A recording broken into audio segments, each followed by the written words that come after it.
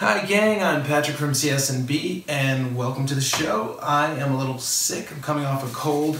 I just got back from Arizona, go figure. I missed the snowstorm here in New York and I catch a cold in 80 degree weather over in Arizona. How nice. Um, so I'm on my way to work, about to leave the door, and uh, lo and behold, Amazon arrives with a sweet little package for me. Now guys, I'm sure you've all seen this box before. Uh, maybe you're familiar with the box, but you might not be familiar with what's inside of it. I guess I could do a wristwatch check for you guys that I'm thinking about it. I have my uh, Seiko SNL017, the Saturday Night Live 2017. Um, I believe that's the model number. It's a kinetic chronograph. Pretty sweet. I don't know if I've talked about it on the show. We'll talk about it on the show. And I'm cutting open this box with some uh, Westcott titanium scissors. This is in my everyday carry. Um, so this is something I picked up on a whim. Um, we did a little his and hers exchange for Valentine's Day. Uh, this is the day after, for those of you watching this. Uh, but this is the day after Valentine's Day. And me and the girlfriend exchanged Casio G-Shocks. Guys, I haven't had a G-Shock in years. I think I was eight the last time I had a G-Shock, so, wow, 18 years ago. Um, so I'm really excited about this. This is a newer model from them. It's a Heathered G-Shock. I'll let you guys see the color I chose in a second, but I believe there are eight color variations, everything from white to gray to black to red to blue to yellow to green. I don't know if I'm missing anything, but um, I got Ooh, this is really fun. Uh, so you guys can see what's in here. Uh, neat little Casio G-Shock box. Uh, top half held the manual, which I'm going to need to read uh, because there's a lot of functions in these guys. I'm pretty sure it's self-explanatory, but we'll look at that in a second. Y'all don't want to see that. Maybe you do. I'll do a video on reading the manual. Uh, but inside the box, we have...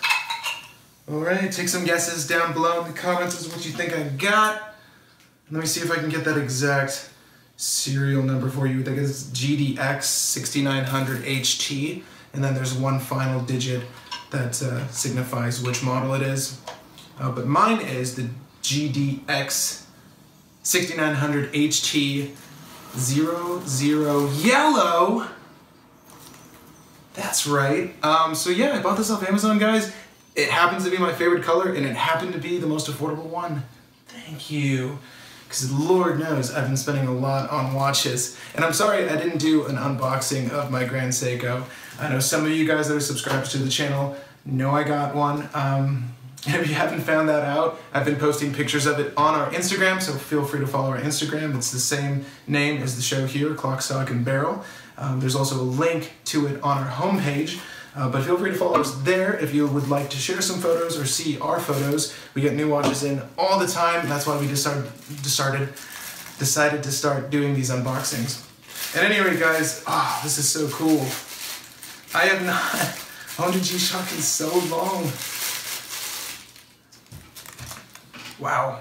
Yes, the first G-Shock I owned was blue. I think it was like ice blue with uh, white accent colors. I forget the model. Again, I didn't. I probably didn't care back then. Oh, this is so gnarly though. I love the 6900 look, and this to me is what a G-Shock should look like.